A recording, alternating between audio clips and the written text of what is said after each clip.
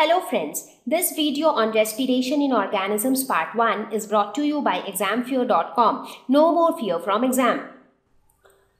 Topics to be covered in this lesson are Introduction, Types of Respiration, Aerobic and Anaerobic Respiration, Breathing, Breathing in cockroach, Breathing in earthworm, Breathing in aquatic animals and Respiration in plants.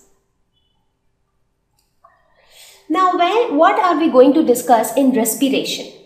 So, the term looks big, but we will see that it is something which is a part of our life, which happens, which, which we do all the time, 24 bar 7. So, let's start from here. We all eat food. Why do we eat food? Because we feel hungry. But why do we feel hungry? Why do we need that food? Because our moms often tell us that eat good food, it will give you energy. So food is actually related to energy. So this food which you eat, many of us eat uh, rice, some of us eat chapati, some eat burger, some eat pizza. So all these food items, what do you do? You just eat them, put it inside your mouth, chew it properly, swallow it, you, you have properly digested it. What after that? How is that food going to give you energy?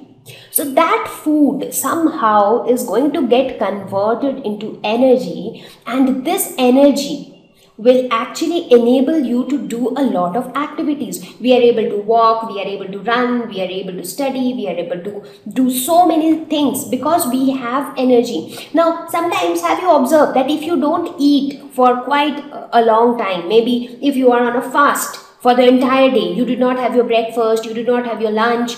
So by the time it is almost evening, you tend to feel very weak. You feel less energetic. Why? Because you have not eaten any food. So there is no energy inside your body. Right? Now, whatever food we eat, this food gets inside our mouth and then it finally enters into the stomach, then in the intestine and in during these uh, times the digestion of food happens. That is the food is broken down into its simplest form and then it is absorbed by the body. And then this food is what happens. So this food is then utilized to provide energy and then that energy is actually given to all the cells of the body. So what do we want? We want oxygen to get this food converted into energy. So what do we need? We need oxygen because this simplest form of food which is absorbed by different cells of our body. So that food needs to be converted into energy because that food directly that's even that simplest form of food which is normally glucose this cannot directly give us energy. So that conversion what is that conversion?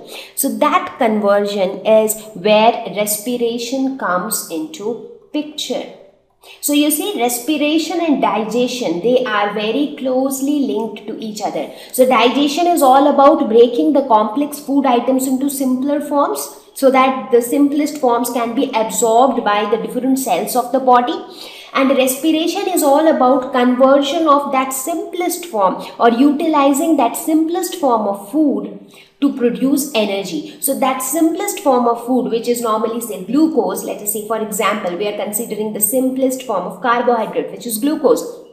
So this glucose will be oxidized to produce energy and this process is called respiration. So here we are going to discuss a lot of things about respiration. So mostly we will look at how exactly we get oxygen which is needed to convert this uh, food into energy.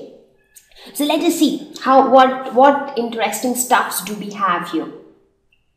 Now what really happens is we eat food digestion of food happens that is the food passes through the food pipe through the stomach through the intestine. It is broken down into the simplest forms by various digestive juices and enzymes and then it is absorbed because the simplest form of food can be easily absorbed by the cells of our body. And then it is also transported to other parts of the body to other cells of the body through blood.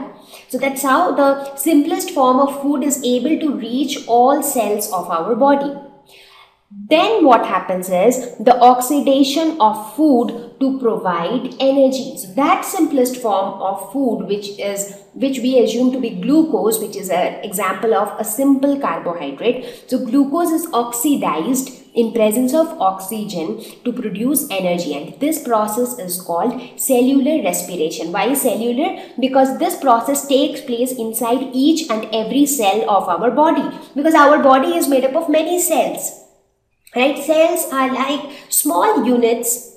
They are small repeating units which make up our body. It is like uh, let me give you an example. Let us think of a house. So if you think of a house what is this house made up of? The house is made up of bricks. So a lot of bricks put together actually builds this house. So these bricks are like the cells and this house is like the body, the entire organism. So the entire organism is made up of many small, small cells which are all repeating structures and they have together formed that organism.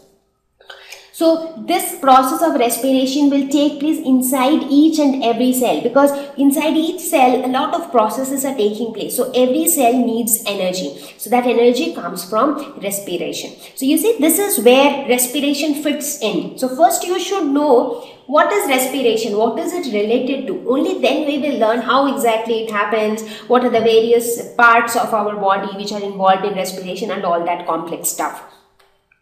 So now respiration has to take place. Now for this respiration, what do we need? We need oxygen because I said that the food needs to be oxidized. So for this you need oxygen. So oxygen has to be taken in. So some by some or the other method, oxygen needs to enter inside your body. Only then oxygen will be available to the cells of our body to carry out oxidation. So only then respiration will happen. So oxygen has to be taken inside our body by some means.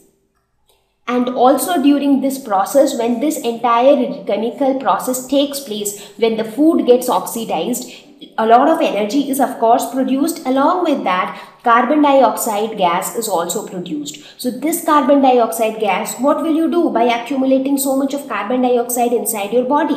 So the carbon dioxide which is being produced as a product of respiration that needs to be released out of our body. So basically during respiration we need to ensure that by some method oxygen needs to enter our body and carbon dioxide needs to be released out of our body. So this is the overall picture of respiration. So I hope that you got an idea about what are we going to discuss in this lesson. Yes. Thank you.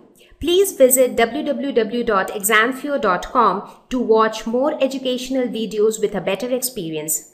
Please do not forget to like and subscribe to our YouTube channel for latest updates. Thank you once again.